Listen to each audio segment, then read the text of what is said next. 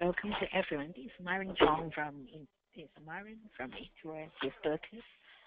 Uh, today we believe that there is a significant growth in China's economy, and more active traders are interested in uh,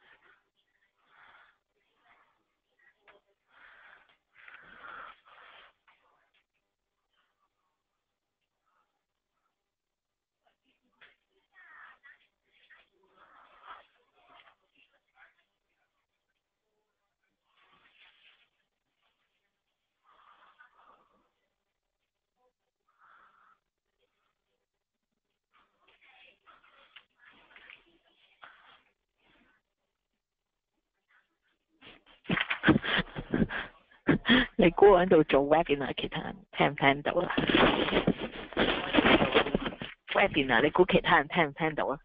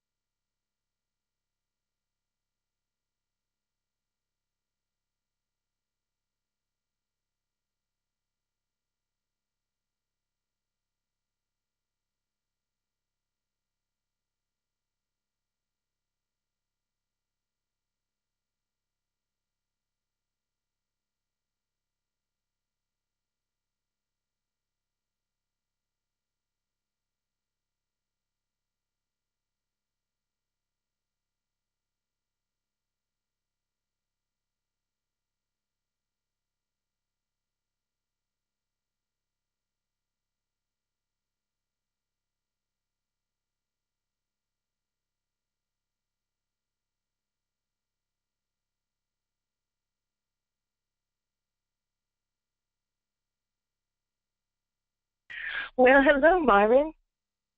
Yeah, I'm here. Oh, well, uh, good morning from the U.S. and good afternoon. it is a really early morning, right? Oh, it is. Uh, but it makes for an early day. I get to go home early later on. So, yeah, That's I'm, good. I'm not in the office yet. Um, although, oh, okay. okay, I see um, your screen, but it's blank.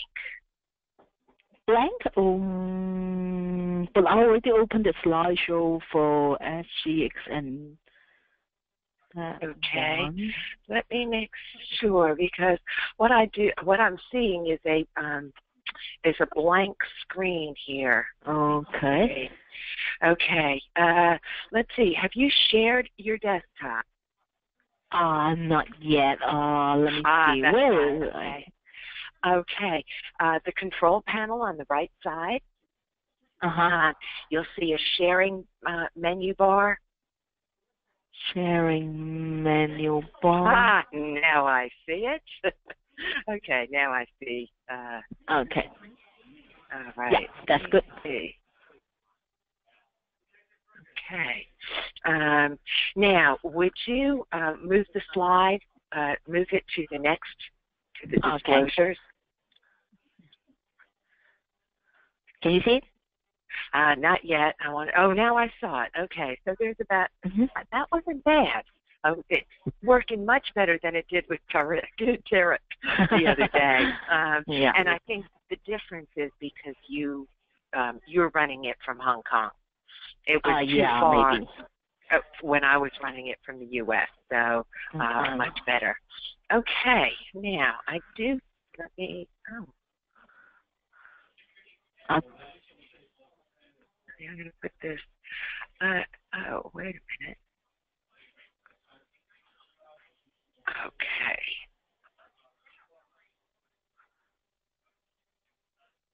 Oh, there. Now I have it, and I have it full screen. Excellent. Okay, would you uh, take it back to the first slide? Okay. Uh, um, if you um, do have, here you go. Okay, beautiful. And it came right up. Mm-hmm. Okay. All right, very good. Now, um, now um, what I want you to do is not um, pass me the control, but go ahead and right click on my name. Okay. Mm-hmm. Uh, in the control panel, and you see uh-huh. there you can make um, uh, make me the presenter. I don't want to be the presenter. Um, oh. But that's how you. I just want to remind you that's when Tarek um, joins. That's how you'll okay. Uh, yeah. pass the controls to yeah. him. Um, mm-hmm. We'll make sure that his screen is uh, is in full screen. Now, mm-hmm. um, let me see. We do not want to start the broadcast until until you're ready to begin. So just mm-hmm. quickly, the steps to take. Um, we, we've got the broadcast going now, which allows us to talk and no one in the session. We already have an attendee. That's amazing. Someone's already very excited. I see one attendee here, right? Yes. Uh, you see the attendee um, uh, panel. Is a senior? Uh, the organizer. Oh, okay. No worries. Just okay. go ahead, please. Oh, yeah. Okay, because the, now uh, there's an attendees tab and then there's staff. So you go to the staff tab in the attendees panel, and that's where you'll, when Tarek joins, that's where you'll be able yeah. to test the controls to him. Um. Oh, uh, would you stop the recording? Okay. So I need to show the disclosure page, right? Yes, but stop the recording now. Um, oh, okay. You hit start recording, and we don't want to record this part. All right, so um, you'll start the recording later on. Ah, there we oh, go. okay. Okay. Um, we can't um, we can't adjust the recording at all, so you want to start the recording oh, okay. as the session begins. But if I start the recording, I need to start the broadcast Right. Well, okay. The, um, we'll start the broadcast first. Uh-huh. Um,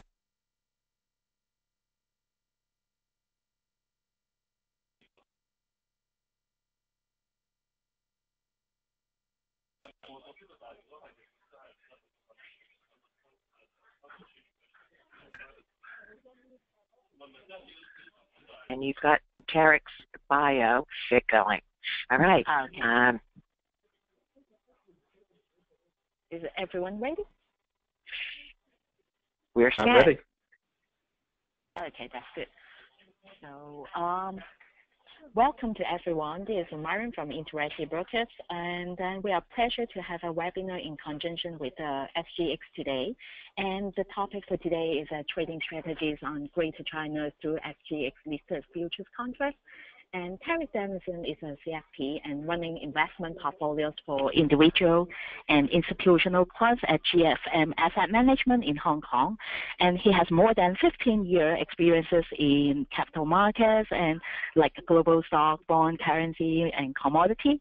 And he also holds a master in financial engineer and graduated from University of California. And he also a lecturer for fixed income and alternative investments at ESSEC Business School in Singapore. So we are happy to, for Tarek to join our seminar uh, webinar today. And if you have a any questions related to our webinar today, please feel free to raise your questions over the chat, and Tarek will answer your questions at the end of the webinars. Uh, Tarek, are you with us now? Excellent. Yes, I'm here. Okay, then uh, let's start now. Thank you. Well, uh, thank you very much for having me. Uh, I'm very pleased to uh, to be presenting uh, my view on basically how I. Oops, I'll show my screen. I've got my screen. Can everyone can everyone see the main slide right now with GFM Asset Management SGX on the title slide? Looks So- good. Excellent. Good. Well, um, thanks again to Interactive Brokers and SGX uh, for having me. As mentioned, I'm an independent asset manager. And I'm going to be presenting my experience and my views on how I specifically use the SGX listed futures contracts in order to trade the greater China markets. Uh, we're mostly going to be talking today about equity and currency markets. Um, the background here was an old World War II slide really describing the many different parts of Greater China. Since as I'm going to be describing in a bit, there's a, a lot more to, to China than one country as it's often described. So first and foremost, I want to present two disclaimers. First of all, on this slide, we have our disclaimer, GFM's disclaimer. And now we have another disclaimer by the Singapore Exchange and SGX.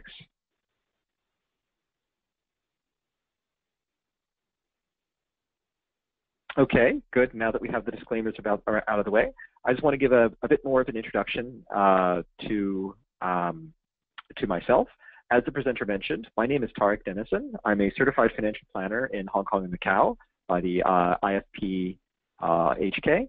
I am one of the advisors on the Interactive Brokers Marketplace. So I manage clients' accounts on Interactive Brokers, all as separately managed accounts. And I run this through two entities. Basically, our US-based clients are run through our um, US-based account, GFM Asset Management LLC, and we have a, a Hong Kong SFC licensed Type 9 asset management firm, GFM Group Limited. Uh, both run uh, run here out of Hong Kong, but for two different client bases. As mentioned, I have 15 years experience in different capital markets. I started my career with Commerzbank in New York, and then had most of my career at Bear Stearns right up until the day that it collapsed. Uh, Bear Stearns was then taken over by J.P. Morgan. After that, I moved uh, out here to Hong Kong with uh, CIBC, the Canadian Imperial Bank of Commerce, and then spent some time at SocGen before starting my own asset management firm. I have a master's in financial engineering from the University of California, and I'm also an avid teacher and lecturer of uh, finance, both at ESSEC Business School in Singapore, the CFA Society, and uh, several other institutions in the region. I'm an avid speaker, writer, and traveler. So, first of all, I often start these, uh, these presentations with some of the most obvious questions. Believe it or not, there are still several times I will go to the US and speak to investors there, where the first topic I often have to present, at, I, I'm exaggerating a little bit, is where is China? But I am sometimes having to explain uh, where exactly is Hong Kong? What is Hong Kong a part of? Is Hong Kong a part of China? What is Macau? How far is Macau from Hong Kong? I just brought up the quick Wikipedia map showing what is Greater China. Generally, when we talk about Greater China, we're talking about the People's Republic of China, which here in Hong Kong we call mainland China, but we're also including Hong Kong and Macau and Taiwan. One of the reasons we use the term Greater China is to avoid any political dispute or political debate on what the political status of Taiwan is. Um, as I'll be showing later, uh, Taiwan uh, the PRC and Hong Kong all have uh, their own major stock markets, each with over a thousand listed companies. Macau, on the other hand, is a, is a relatively small entity, mostly known for gambling. There are nine listed uh, companies in Hong Kong which are based in Macau, but Macau, itself doesn't really have its own capital market. The remarkable story in terms of thinking of why do we care about China? Why should we pay attention to China? Why should we bother Chinese stocks? Uh, one of the many charts you could use to show that is just what has happened to China? What has China done over the past 30 years that's so remarkable? And what this chart shows is it shows what the percentage of the global GDP, the percentage of the global economy, was made up by each of the top 10 countries over the past 32 years, well, actually over the past 17 years and projected over the next five years. So from 1980 to the year 2022. Uh, you'll notice all the way back at the beginning in 1980, China was a tiny part of the world economy, despite already having the largest population uh, of any of the top 10 markets. And then over the past 30 years, uh, its economy came to be larger on a purchasing power parity basis than even the US economy. Um, and compared to any of the other top 10 countries, this was truly a remarkable feat. Now, the third largest one here, so above the green United States, uh, don't be confused by the indicator on the side. That's actually India. So it is remarkable that India has actually doubled in its share of the global economy, but it's still not quite as remarkable as China, which has gone from being about 3% of the world economy to 20% of the world economy. So that's the, that's the first question of why should we pay attention to Greater China to begin with.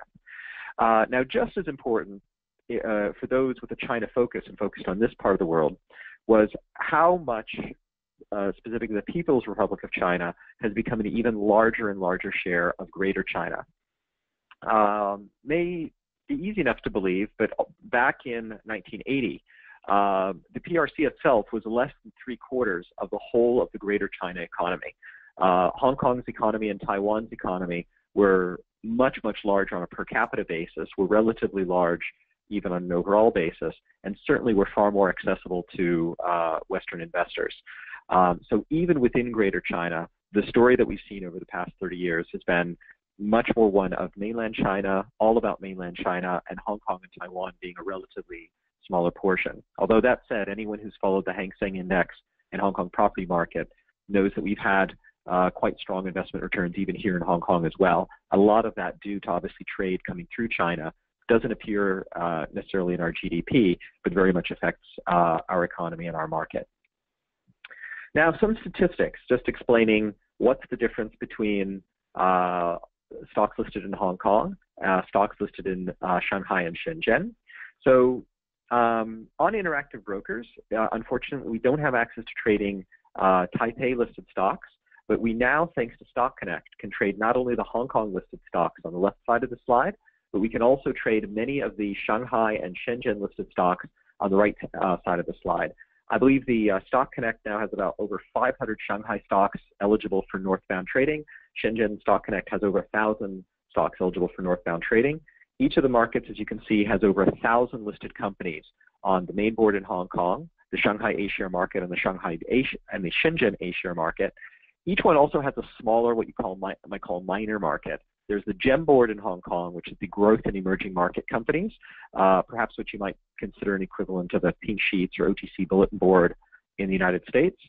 Uh, and then there's also the Shanghai, the B share markets, both in Shanghai and Shenzhen. Now, the B share markets were originally a separate share class made specifically for foreign investors. Shanghai B shares are traded in US dollars and meant for foreign investors, while Shenzhen B shares are traded in Shenzhen in Hong Kong dollars and uh, intended for foreign investors. But you can see by the number of issues that the B share market is becoming a far less important way that foreigners access the Chinese stock market because now we can access Chinese companies listed in Hong Kong as well as trade A shares directly through uh, the Hong Kong Stock Exchange.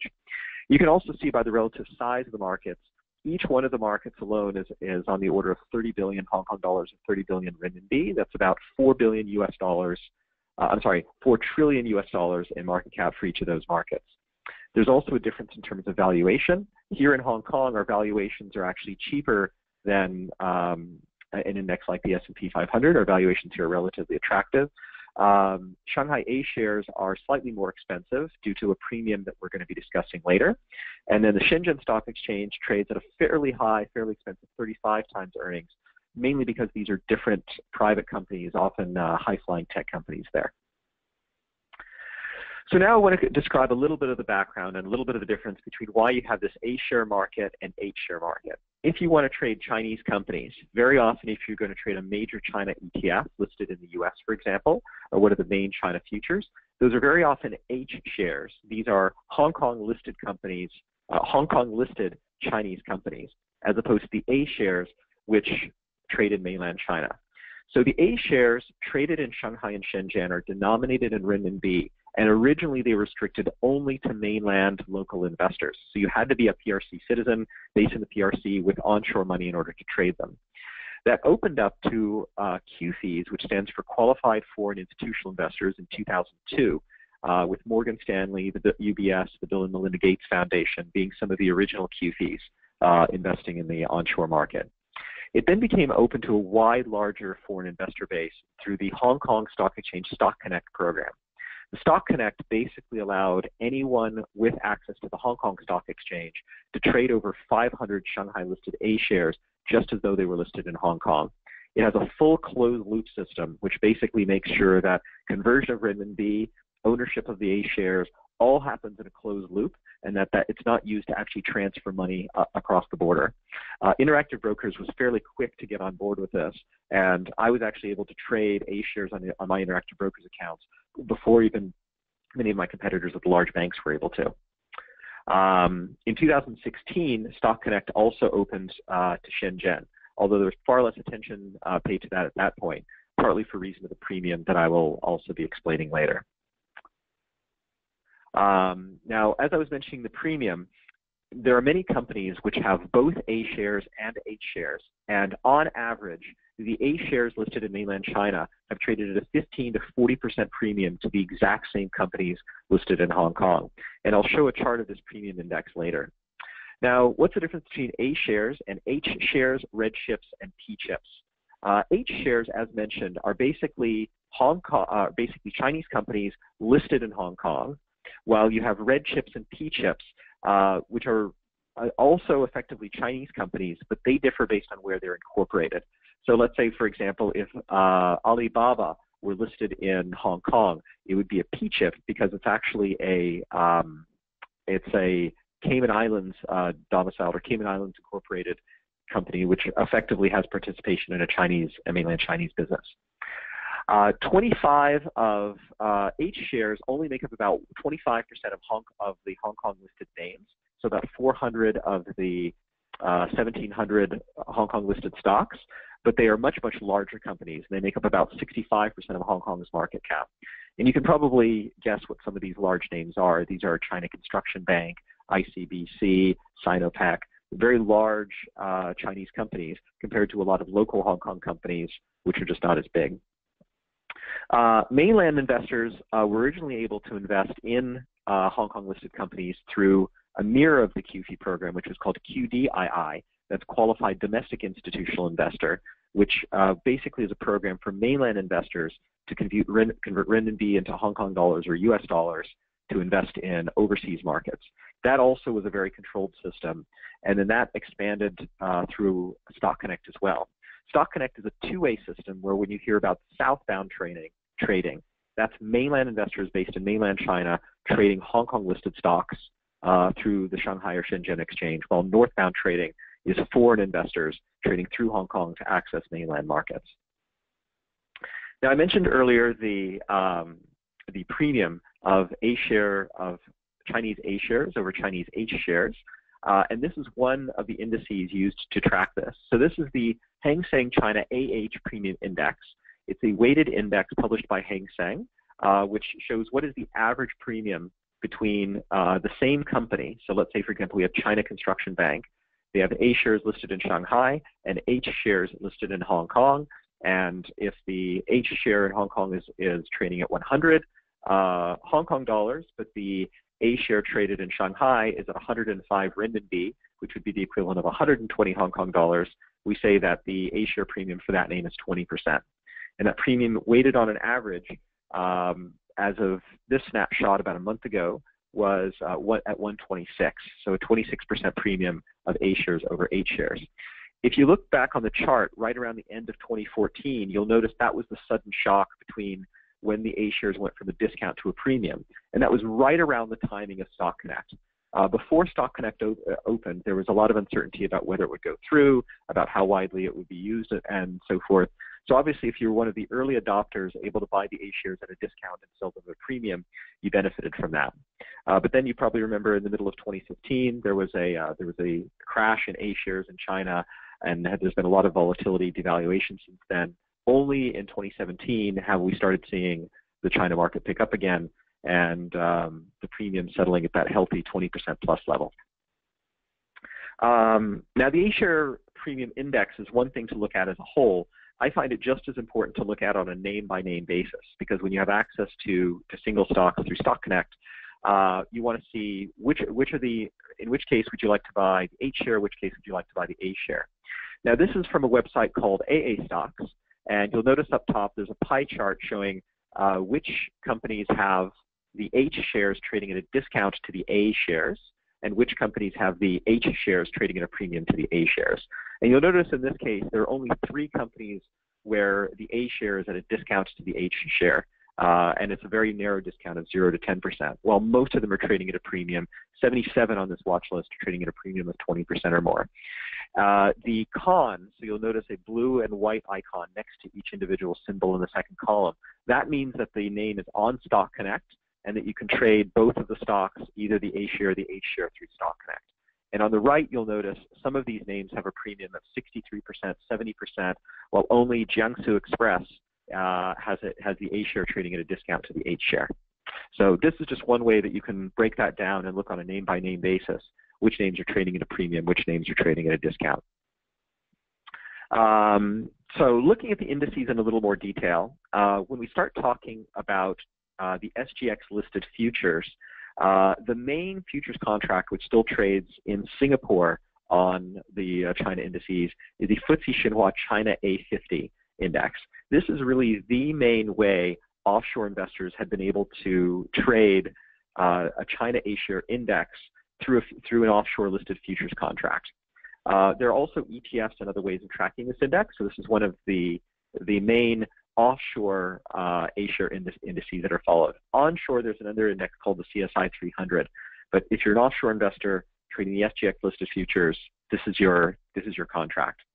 What I want to show on this slide is that this, index, this index is really dominated by banks, specifically the big Chinese banks. In fact, if you look at the top 10 components here, uh, I mean, I should say financials more specifically. The number one listed component is Ping An Insurance Group, so it's an insurance company and you have China Merchants Bank, uh, ICBC, Shanghai Pudong, China Minsheng, CITIC Securities, ABC, Bank of Communications.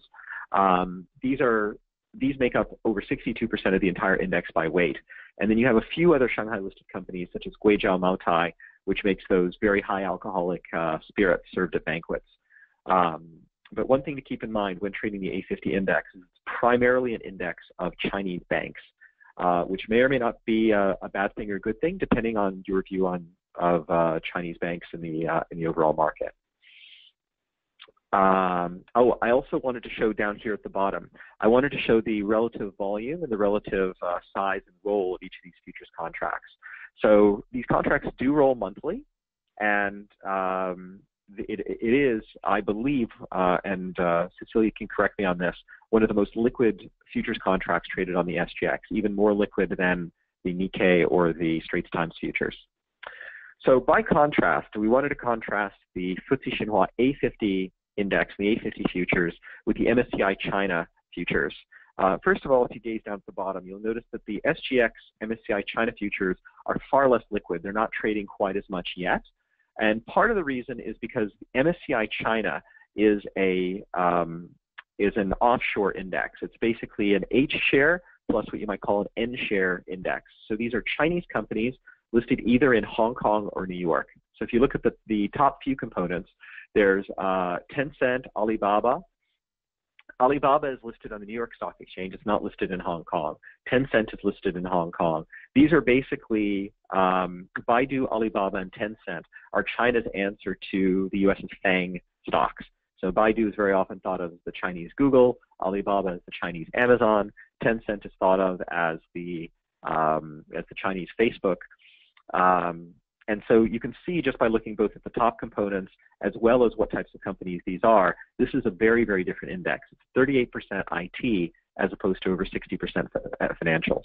But one of the main reasons that this probably doesn't trade quite as much is not because there's less interest in these offshore markets. It's because you can already trade the H shares through uh, HKEX listed futures, uh, or you can trade them through ETFs, which were um, the much longer uh, lasting way of trading uh, trading this index. Uh, the third index I want to talk about, which was which is increasingly becoming maybe the forgotten part of Greater China, is the MSCI Taiwan Index. So Taiwan is still a, an important part of Greater China. It's still a different market. Um, it has a different structure and in many ways is a different economy than the rest of Greater China. Um, although, as we'll see later, that uh, the overall stock index is highly correlated with the rest of the, of the Chinese index. You'll notice here it's, 50, it's a 57% IT index, but these companies are very different companies than the companies that make up the MSCI China free index. So you don't have the equivalent of a BAT or a FANG stocks, internet companies which are going to scale and take over the world. Instead, what you have are you have these kind of old school 70s and 80s era um, electronics manufacturing type of companies and precision manufacturing uh, companies making up a large um, a large percentage of the index. Now, as mentioned, uh, unfortunately on Interactive Brokers, uh, at least I haven't been able to trade Taiwan listed stocks, uh, but you can trade the MSCI Taiwan futures both on the SGX or you can trade MSCI Taiwan through a US listed e uh, ETF, obviously with advantages and disadvantages for liquidity and tax. You'll notice that the volume of this contract is about 22,000, so it's far more li liquid than the MSCI China SGX contract, but not as liquid as the A50 contract. Um, this chart just shows a quick snapshot of performance over the past year of the, of the three relative indices. Now, this is tracked by the three U.S. listed ETFs. Unfortunately, I wasn't able to get a good roll chart of how the uh, futures would have performed rolling uh, over the period. But the blue line is the uh, A50 uh, index uh, tracked by the A50 ETF uh, in the U.S. Um, the MCHI is the ETF tracking the MSCI China Index, and EWT is the uh, ETF tracking um, uh, MSCI Taiwan. So you'll notice that the three are highly correlated with e highly correlated with each other, but not not exactly the same. And in fact, Taiwan, understandably, has largely been the laggard. Um, uh, and largely been the laggard in many ways, and the A50 has been the most volatile. Now, on to futures contracts. Uh, I think the main the main subject of this uh, webinar. We're supposed to be talking about how do we use futures contracts specifically to, to trade and access these markets. And I wanted to list the six that I regularly watch and trade that are SGX listed and traded on the um, uh, on the Interactive Brokers platform. Uh, now, the top one, of course, is not a uh, is not a Greater China future, but it's uh, it's nonetheless one of the longest lasting SGX futures that I list here for reference. It's the SGX Nikkei futures contract. This is the one that Nick Leeson probably made quite famous back in the mid 1990s. Uh, and you'll notice here that it's not quite, it doesn't trade quite as many contracts as the uh, as the A50 uh, futures. But one thing to keep in mind though is that the contract size on the A50 futures is quite a bit smaller. Each of the units on the A50 futures is one US dollar, while on the uh, SGX Nikkei, I believe the unit is uh, 500 yen. Um, and then the next unit is the um, the MSCI Taiwan, the uh, the STW, the SGX Taiwan futures, followed by the MSCI China Free, which unfortunately I wasn't able to get any volume numbers on. And then the last two contracts are contracts on the renminbi. One is the price of uh, renminbi in U.S. dollars, and that's for dollar settlement. And the second one is an offshore renminbi. It's the price of 100,000 US dollars in in renminbi. And as I, as I've seen, that tends to be the more liquid contract and the one that competes with the HKEX listed renminbi futures contract.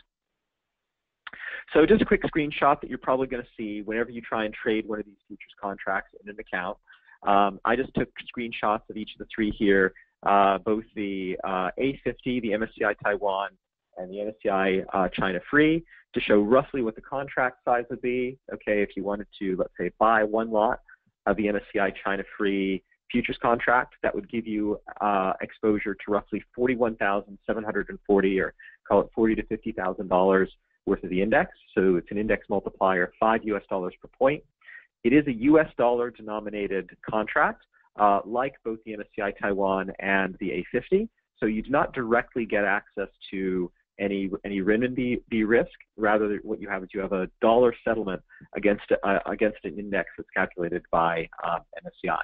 And of course, for contracts, uh, contract specs, margin requirements, and so forth, that's all on the um, SGX website or on the uh, Interactive Brokers trading screen.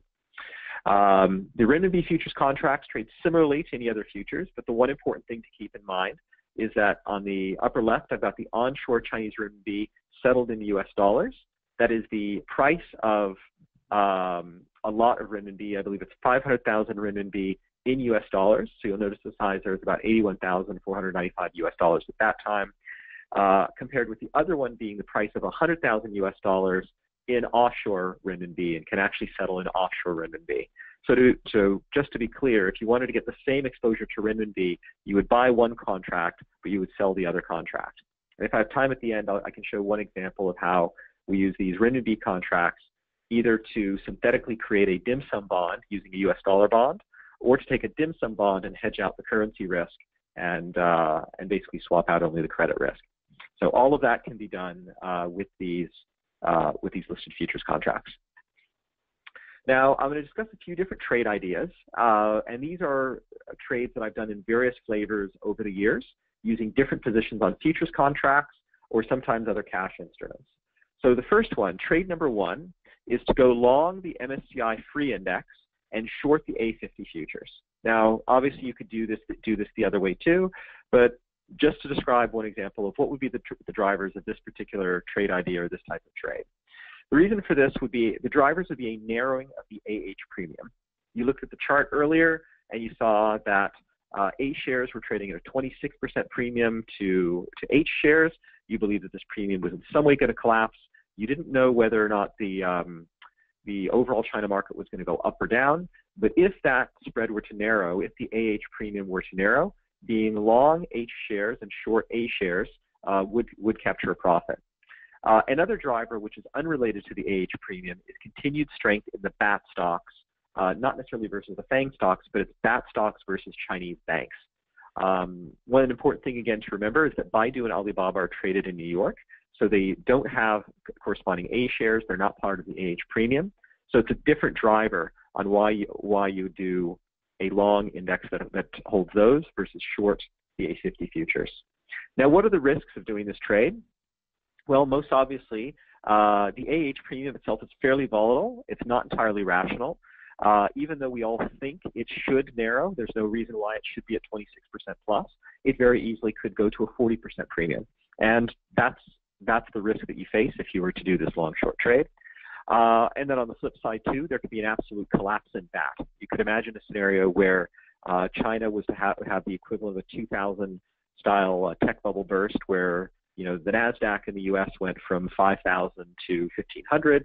And if that were to have a similar collapse, even if the rest of the H shares uh, didn't suffer as much, this trade would definitely suffer. Um, now, when we look at the uh, components sector by sector, uh, one of the things that we wanted to look at is the A50. How does the A50 compare with the MSCI China Free versus the other major H share index, which is traded, the Hang, the Hang Seng H share index?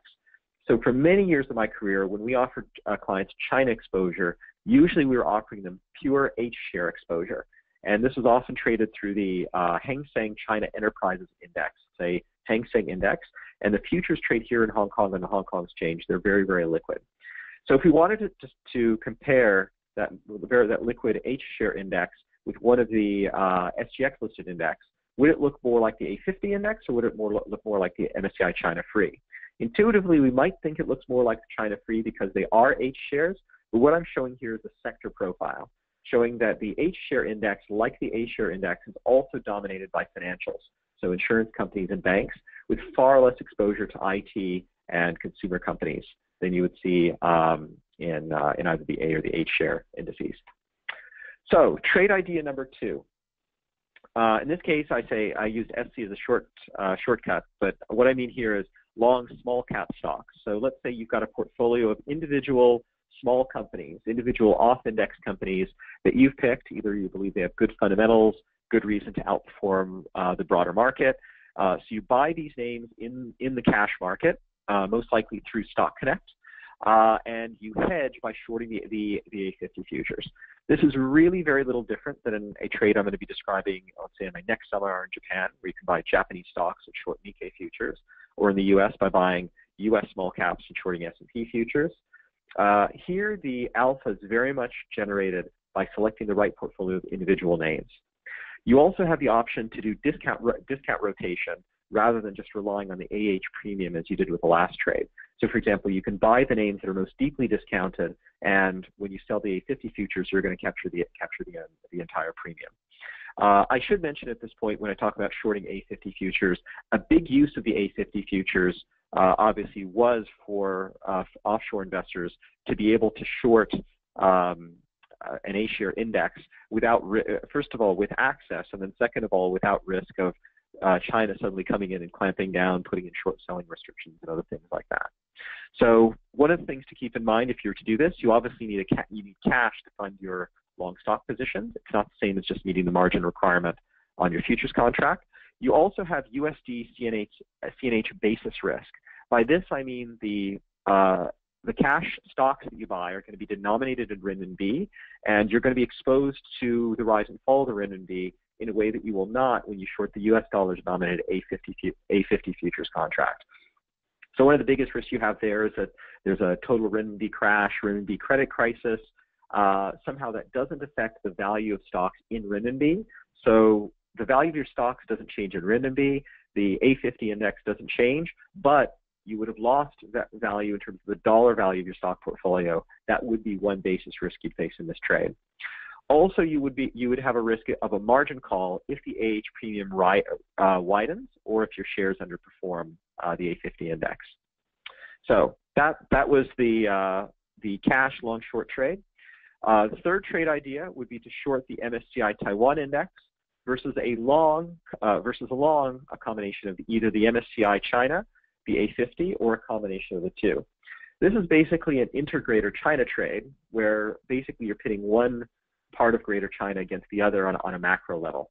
We've already talked earlier about how uh, they're really quite different markets and quite different indices in terms of the companies that make them up, and also how Taiwan has been certainly a much slower grower than the rest of Greater China. Now, one thing I, sh I should mention from my, my previous tra trade idea on selecting individual companies, I don't always believe growth is the, is the best driver of returns. But if you believe that the overall re returns, if you believe Taiwan is going to continue to be a lagger uh, compared to the rest of the China markets, whether it's the BAT companies or A-share banks that are funding mainland growth, this would be one driver to think that the rest of Greater China is going to outperform MSCI Taiwan. Uh, the other attractive thing about this trade is that all of these contracts are U.S. dollar denominated. So in theory, your um, your currency risk is offset. Of course, there there could be correlation between uh, currency and performance of each of the respective indices. Now, what's the uh, what are the risks in this trade? One is that you could have a major onshore credit crisis where Taiwan is less affected. Uh, we're often hearing about how much debt exists on, on, onshore, both in Chinese banks and in the shadow banking system. Um, Taiwan has been a, much more mature market in many ways, even though it's less accessible. It's quite possible that, uh, that you might see a divergence there.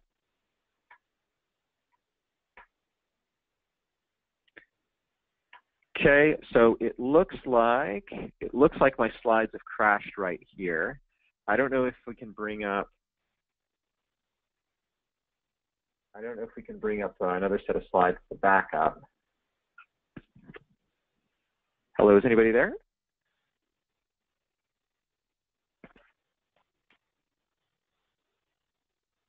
Hi, Tarek. Uh, let me see if we can get um, now I do see some slides. I believe these may be slides. Uh, Myron may be bringing up the slides. Is it this slide? I'm just trying to open it up again on my side to see if it. I oh, okay. Time. Here right now.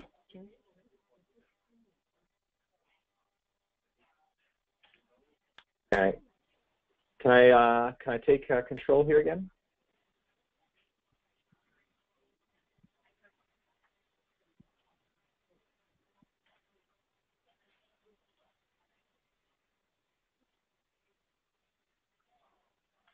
Do you need Uh, the 23 Yep. slide? I can I can I can I can try loading my slides again on this side. I, I restarted PowerPoint. Uh, okay. Looks like you do have control, Tarek. So if you can put that Okay. into full screen.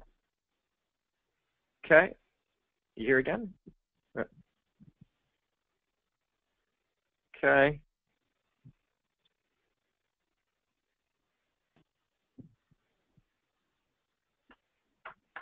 Okay, looks like it's caught me here this time.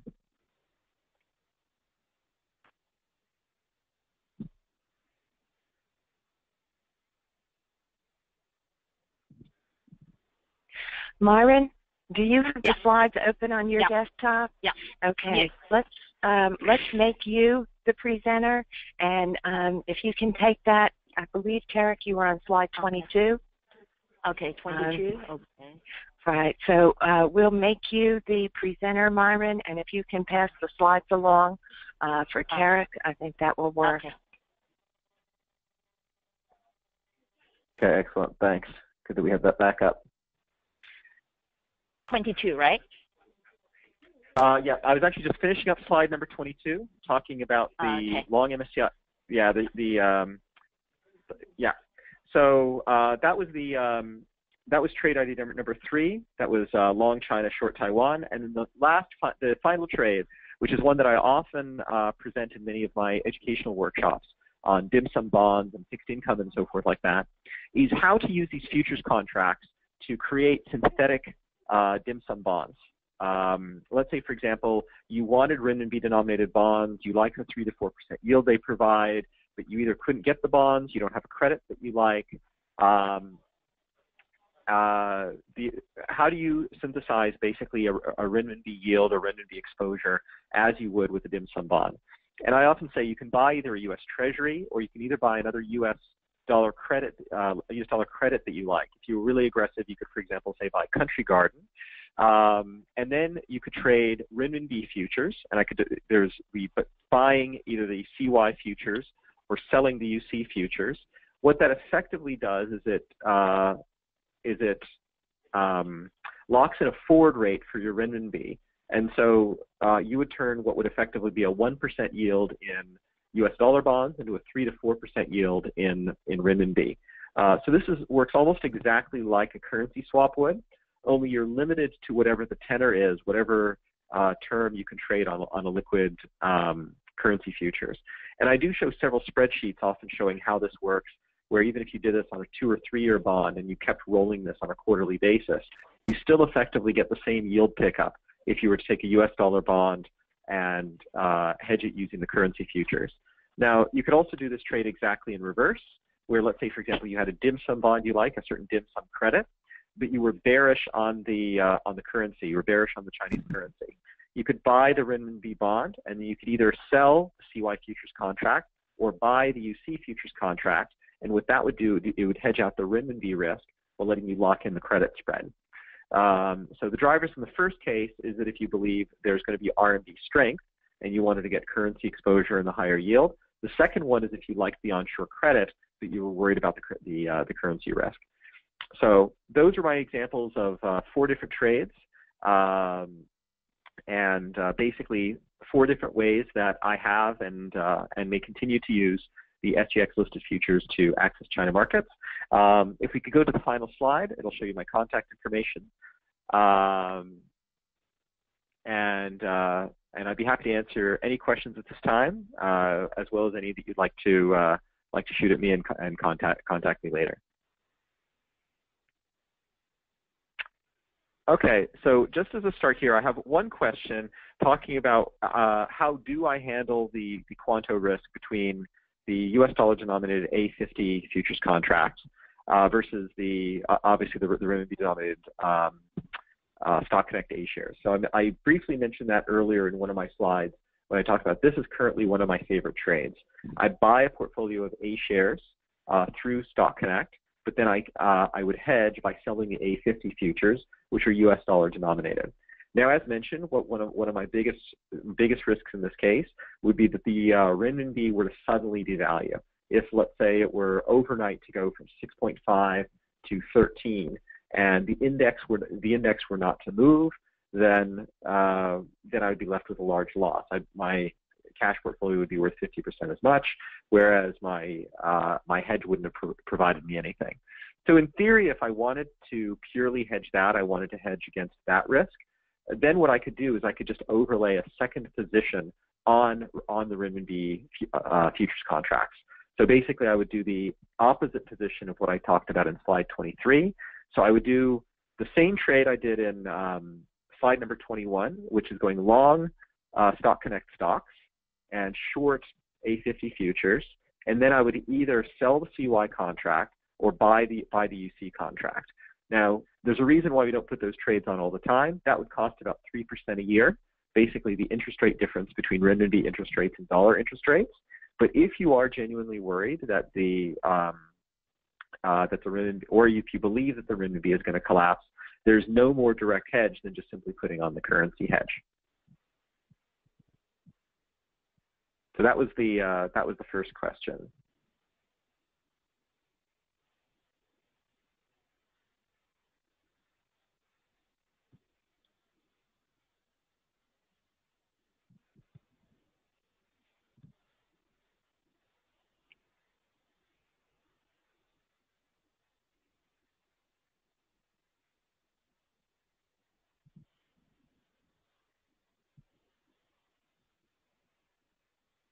Second, well, uh, the, hmm? go ahead.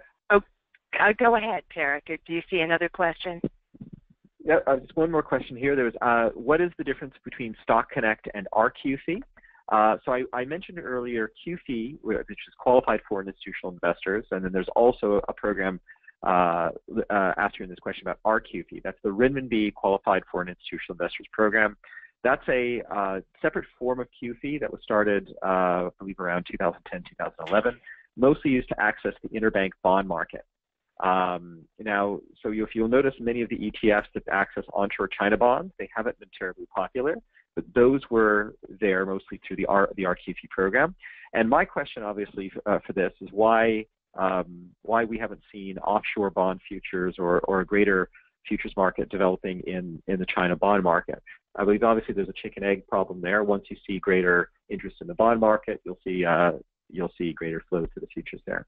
Got one more question here. Um, so, dear Tarek, how do you think the upcoming Chinese Congress meeting will impact will impact the A50 futures? Um, so this is more of a view on uh, on overall ch uh, Chinese politics and, and on the on the uh, um, uh, on the on the overall effect of the Chinese Chinese market. I actually have to admit I'm not a Chinese political pundit or a Chinese uh, Chinese macroeconomist. I don't believe that the current the Chinese markets are currently pricing in very much uncertainty.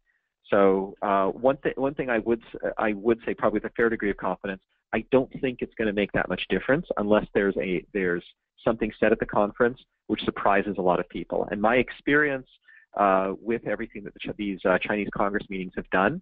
They've done everything fairly gradually, and usually uh, events that would affect the A50 futures markets are surprise, un, unplanned, uh, unplanned events like the intervention in the 2015 crash.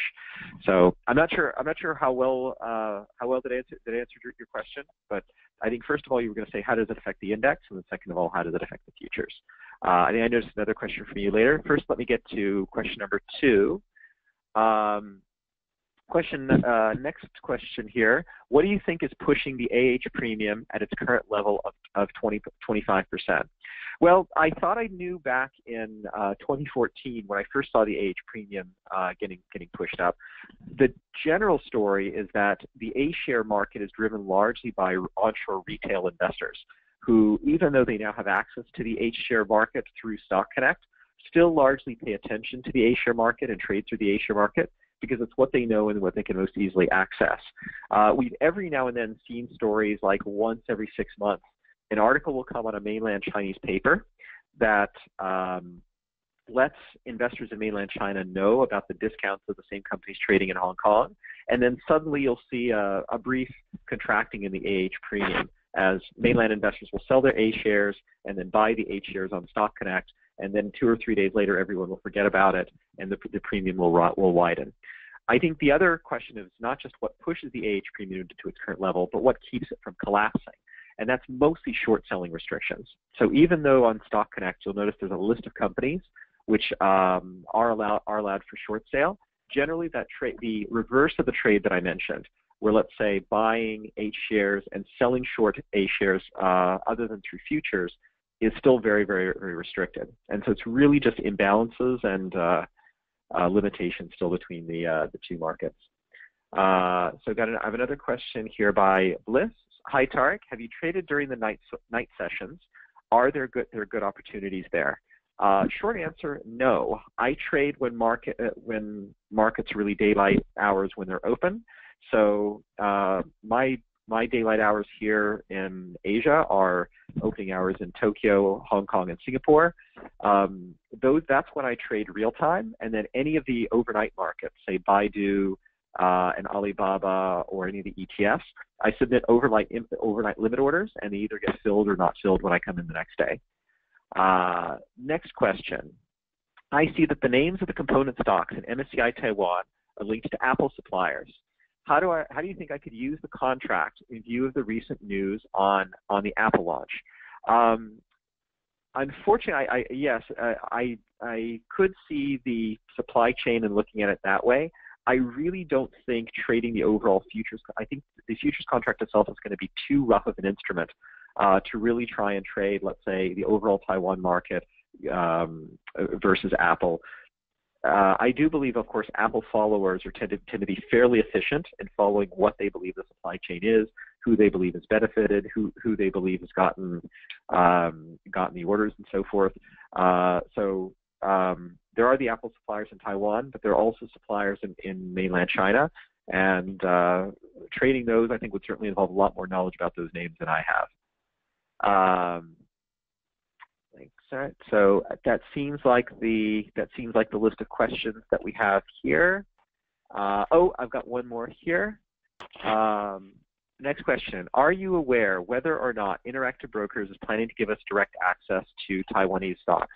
I have no idea. I, have asked. Uh, I would actually leave that question to Interactive Brokers if uh, anyone online can answer that question. Uh, so far, we don't offer the Taiwanese stock yet.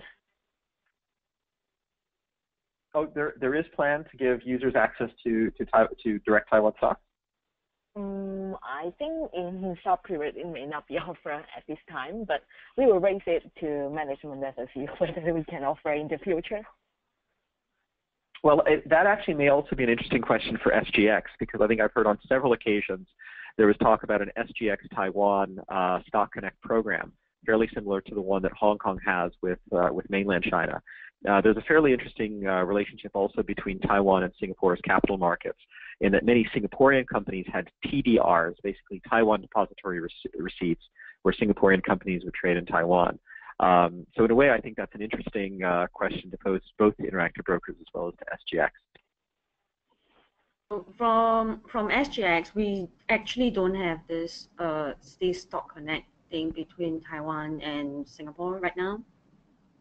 But you can always trade the MSCI Taiwan in, in this case to capture the Taiwan movement.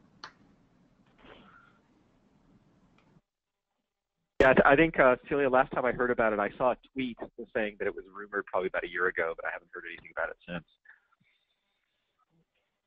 Yeah, that, that was then. So I think we didn't have that, uh, it didn't come true actually.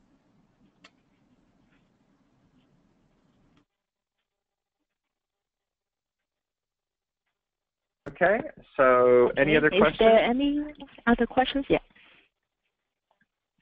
So um, either way, uh, please do, do note my contact information up on the slide. You can, of course, always visit my website, gfmasset.com, or uh, follow me on Twitter. I'm at Quant of Asia. Um, I'm very often uh, trying to share my views on many different outlets, including Seeking Alpha and, and places like this. And I very much like to trade ideas on, uh, on uh, how how you best view these markets. So. Okay. thank you so Tarek. Uh, we are happy to enjoy and enjoy your webinar here. Thank you, Tarek. Excellent. Thank, Thank you for for attending our webinar. Thank you. Bye. I'd also like to remind everyone we have been recording today's session, and if you'd like to come back and review any of the concepts that Tarek went through today, simply watch your email later on uh, for a direct link not only to today's playback, but also to the slides that were provided for today's event. I also would like to thank SGX, the Singapore Exchange, for making today's event possible, and Tarek, a terrific presentation. Thank you so much. We look forward to having you back for some additional topics. And also want to thank everyone for your participation. Um, so with that, we will conclude our webinar today. Thanks, everyone. Have a great rest of your day.